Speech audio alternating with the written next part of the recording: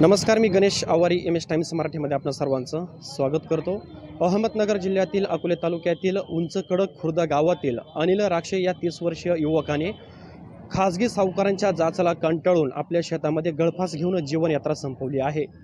ही घटना पहिली नसून अकोले तालुक्यामध्ये वारंवार खाजगी सावकारांच्या जाचाला कंटाळून अनेकांनी आतापर्यंत आत्महत्या केलेली आहे. मात्र या ज्या काही घटना यापूर्वी घडलेल्या आहेत आजपर्यंत कोणावरतीही कारवाई झालेली नाही. त्याच्यामुळे वारंवार अशा घटना आता घडत आहे.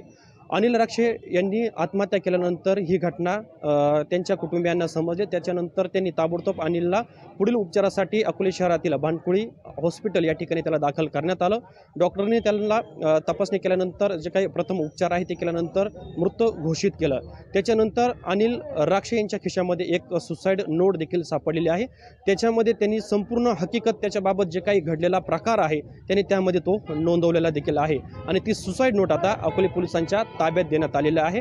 काल अनिल यांच्यावरती त्याच्या मूळ गावी अतिशय शोकाकुल वातावरणामध्ये त्या ठिकाणी अंत्यसंस्कार करण्यात आले. त्याच्यानंतर अनेक घडामोडी आता हळूहळू घडताना आपल्याला पाहायला मिळत आहे.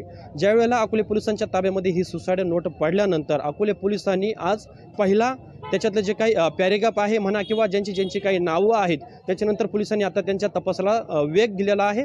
आणि आजचा पहिला टप्पा त्यांनी अकोले पतसंस्थेमध्ये येऊन अनिल राक्षे यांनी जे काही कर्ज घेतलेलं आहे किती कर्ज घेतलेलं आहे त्याचं व्याज आतापर्यंत किती भरलेलं आहे याची सविस्तर तपशील अगस्ती पतसंस्थेकडून मागवण्यात आलेला देखील आहे.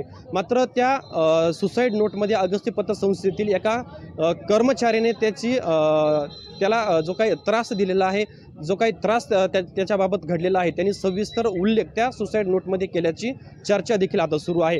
हा आजचा अकोले पोलिसांचा पहिला टप्पा अगस्ती पतसंस्थेच्या उंबरठ्यावरती येऊन पोहोचलेला आहे आणि इथून पुढचे जे काही सहा ते सात नावं आहेत ते देखील आता हळूहळू पुढे येणार आहे.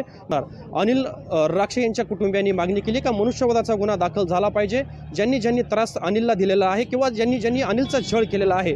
अनिलने जे काही सुसाईड नोटमध्ये उल्लेख केलेला आहे त्यांच्यावरती सर्वांवरती गुन्हा दाखल झाला पाहिजे अशी मागणी आता कुटुंबियांनी केलेली आहे.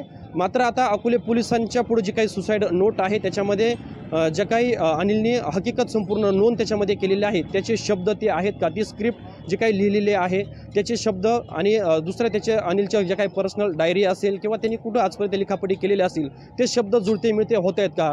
याच्यानंतर या सगळा तपास पूर्ण झाल्यानंतर अखेर गुन्हा देखील दाखल होईल आणि पोलीस देखील वेगानं याच्यामध्ये कामकाज करू शकतील आणि थोड्या दिवसामध्ये हे सगळे जे काही नावं आहेत जे काही खाजगी सावकार आहेत ज्यांनी ज्यांनी अनिलला व्याजाने पैसे दिले आणि जे काही सगळा घटनाक्रम त्या सुसाईड नोटमध्ये केलेला आहे जो काही उल्लेख त्याच्यामध्ये केलेला आहे.